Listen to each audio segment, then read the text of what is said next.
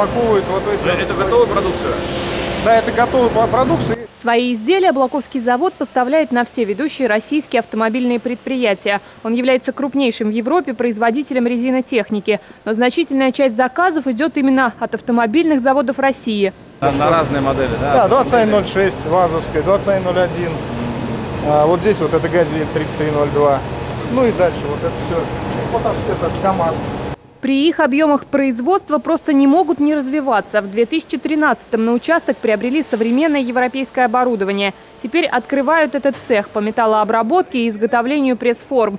Новые технологии позволят в несколько раз повысить производительность труда и обеспечат высокую точность обработки деталей. Вы теперь можете почти твердо стоять на ногах.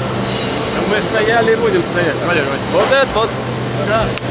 Вот это самое главное. В Балаковском районе на ноги ставят еще одного «Титана». Открывается долгожданный завод «Балакова Централит».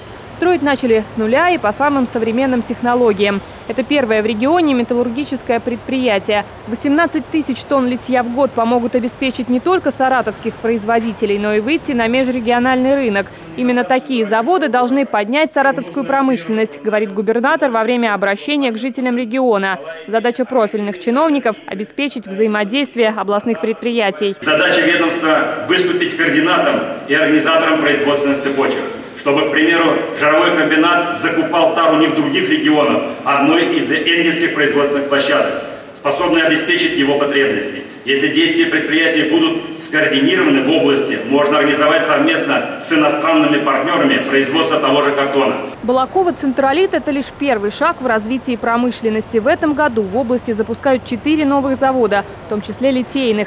Это в дальнейшем позволит региону стать одним из российских лидеров в отрасли металлургии. Елена Губенкова, Максим Пустовалов, РЕН-ТВ, Саратов.